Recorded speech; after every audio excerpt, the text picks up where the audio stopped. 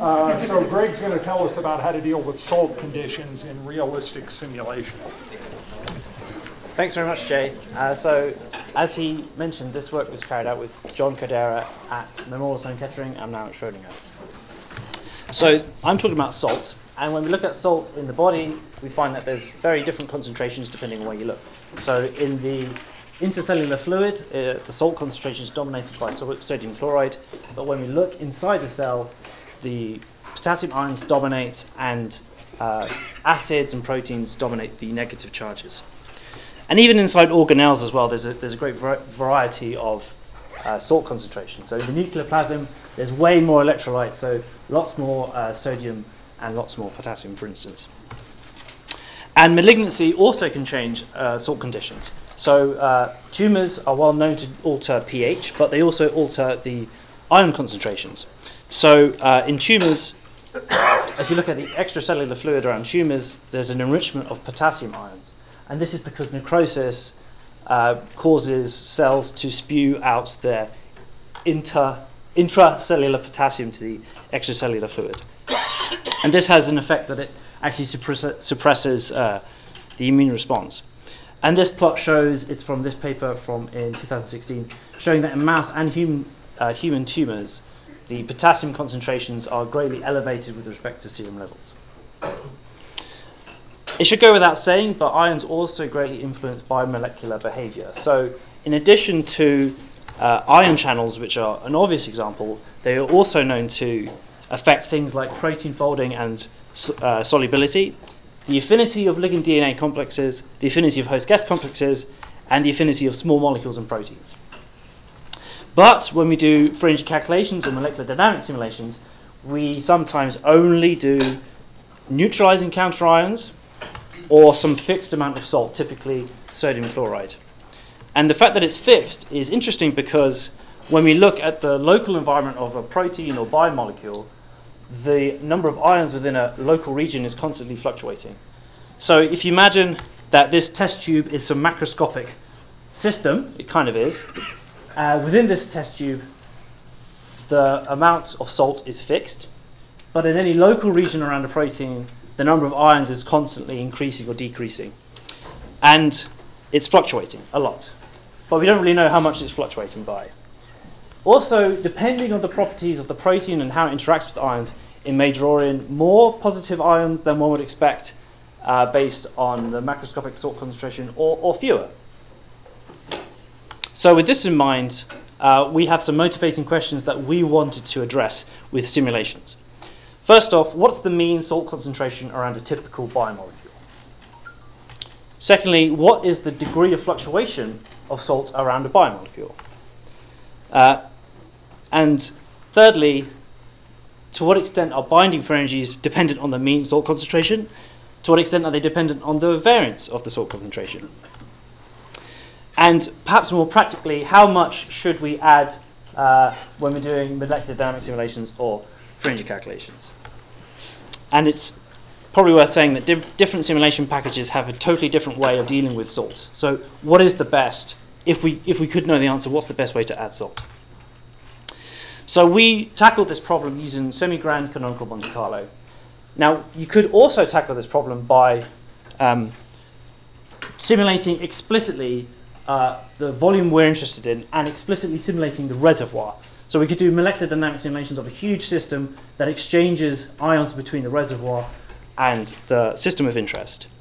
But in GCMC, Grand Canonical Monte Carlo, we take the limit of the, this reservoir becoming infinitely large so that the number of uh, salt pairs and water molecules tends to infinity, but the ratio of them stays constant. And this mathematical trick allows us to replace explicitly simulating the saline reservoir in this case with just the system of interest and uh, the methodology allows us to create and annihilate uh, ions within that. And uh, I'll refer to any device that's able to maintain a constant macroscopic salt concentration but a fluctuating variable amount of ions around a biomolecule and osmostat. So um, we wrote uh, an open source package called SaltSwap, which is available on GitHub under the in the Chodera Lab GitHub account. And uh, I use Joung and Cheatham parameters, and we only consider sodium chloride for this package.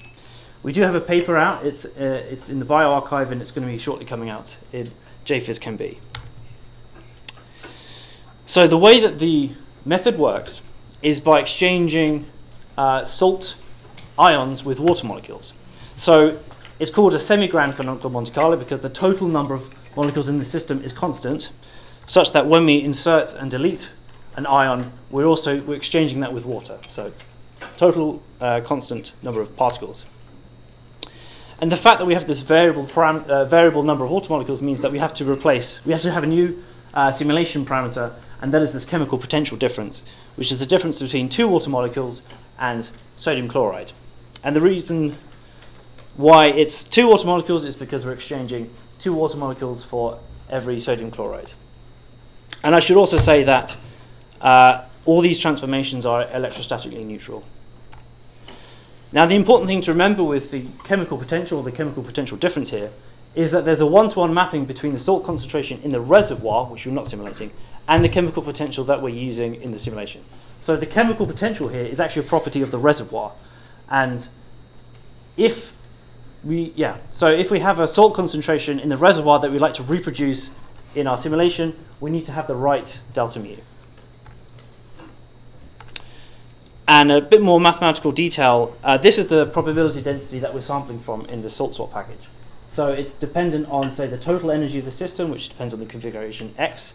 Uh, we do have a barostat, so that's the pressure and volume. And you can see here, this is the extra semi-grand canonical Monte Carlo term. And uh, I define the number of salt pairs in the system as the minimum between sodium and chloride. So basically, it's the, it's the number of neutralizing pairs in the system. Okay, so how do we insert and delete ions?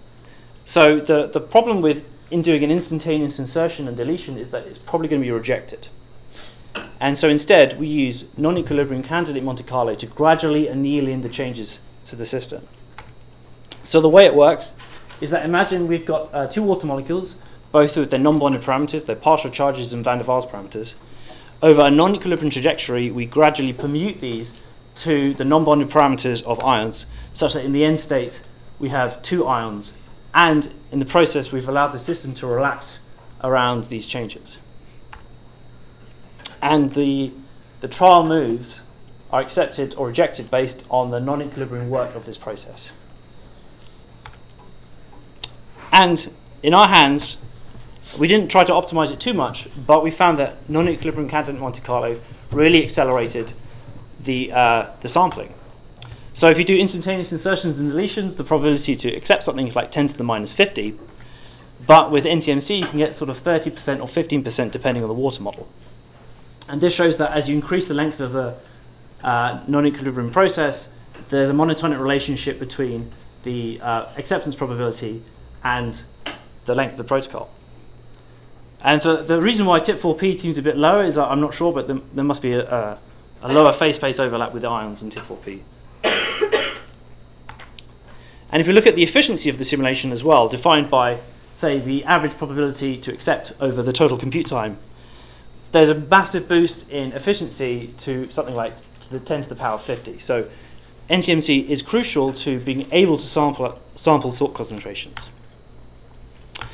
And I can't go into too much detail on how we calibrated the uh, osmostat, but as I mentioned, there's a one-to-one relationship between the chemical potential and the concentration of the reservoir, and the mapping depends on the free energy.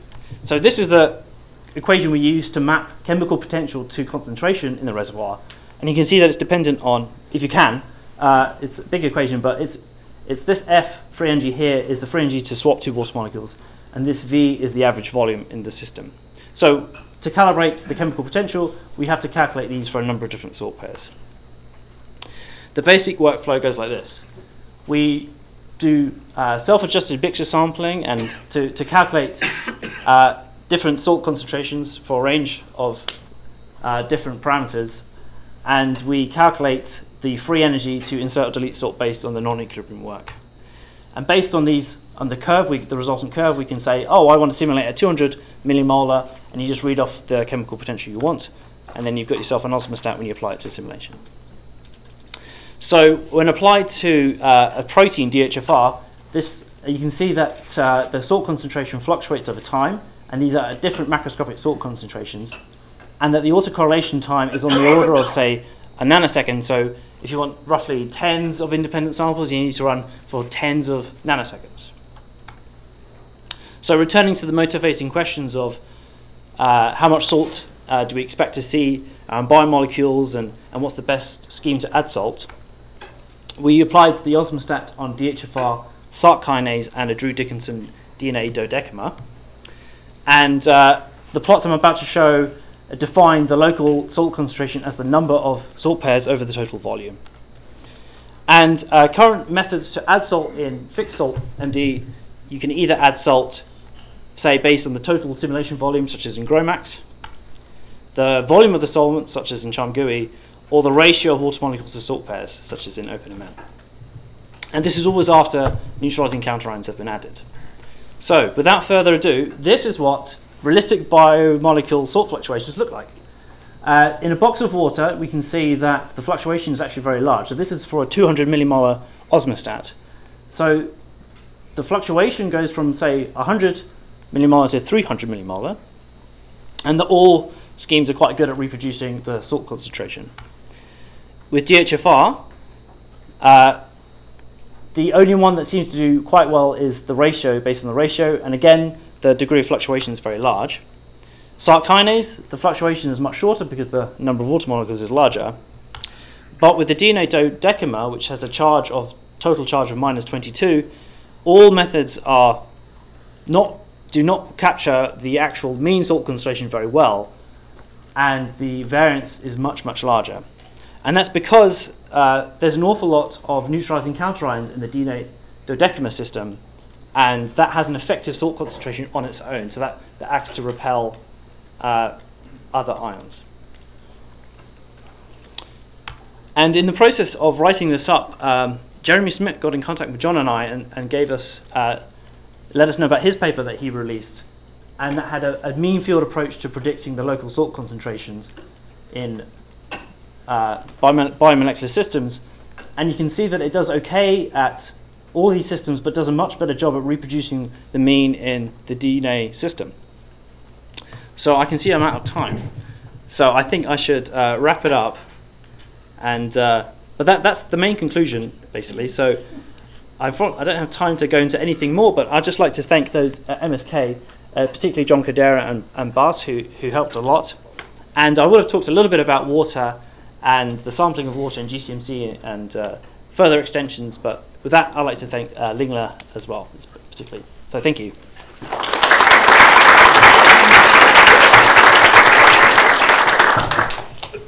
Any questions for Greg?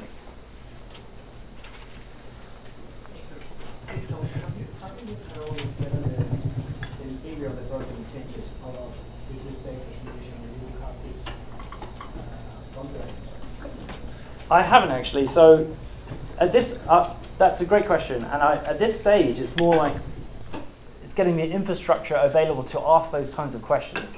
Uh, so I don't know, uh, but I would love to see.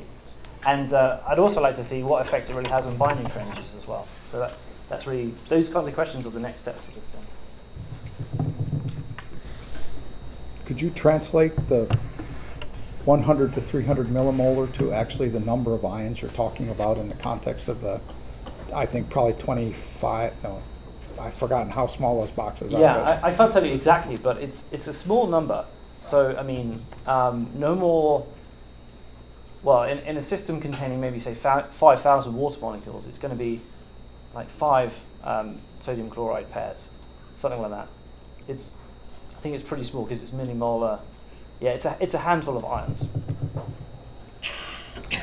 Can you comment on the time scales involved in terms of the acceleration of the ion atmosphere, especially with respect to what might be a, a charge changing perturbation? What can, what can folks sort of expect in terms of that? Yeah, that's a really good question. So we, in terms of, yeah, okay, so there's, there's two ways to answer that question. Uh, one way, a direct way, is saying, uh, how long do I need to propagate the dynamics of the system such that they appear relaxed. And the NCMC, this non-equilibrium candidate Monte Carlo, is kind of approaching that. Um, so it's something like so a, a high acceptance rate basically means there's a good overlap between uh, that you, you've allowed the system to relax enough around say a new a new ion, and that's something like 20 femtoseconds, but that's probably too short.